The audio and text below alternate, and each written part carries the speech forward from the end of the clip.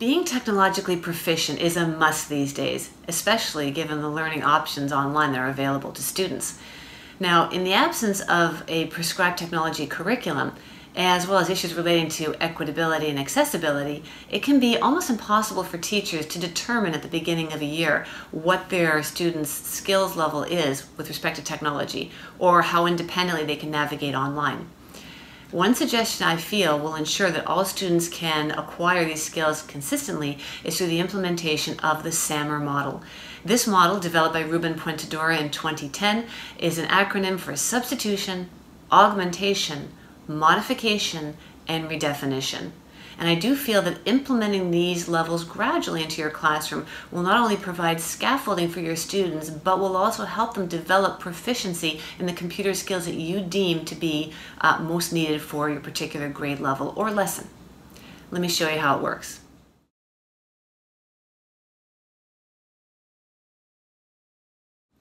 Now in this phase, substitution basically means replacing an activity with a technological tool.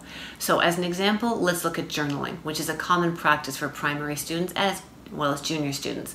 It helps develop language arts skills and uh, spelling vocabulary as well.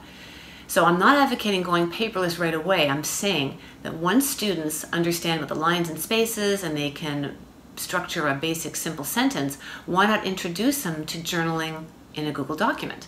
Because this way they're going online and you're showing them how to name a file, how to create a title, how to save a file, how to possibly make a copy of it as well, but then also looking at different fonts, sizes, styles, colors, the list goes on.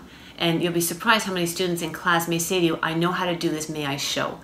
If there aren't many volunteers or this is really new for everybody, uh, you as a teacher can make a screencast and just show the kids in class as well as give them time for independent discovery.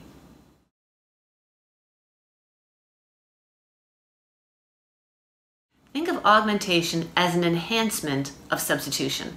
So if the kids were typing uh, their journal document, going back to that example, and using colored font and different font styles, now may be a good point to introduce images.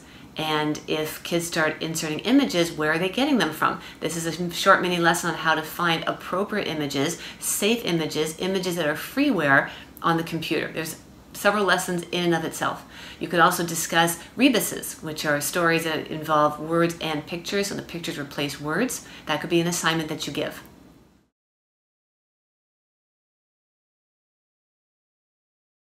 This is where the lesson changes. So before you had journaling where the kids were writing, then they were typing, the lesson changes because now you're going to challenge the kids to create an audio file of their journal.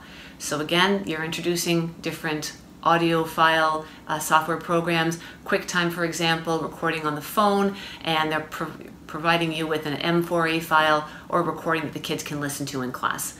Again, be aware you will have student helpers, kids who are familiar with this, and who will be able to step up and support you as well. And it's great to empower the students too.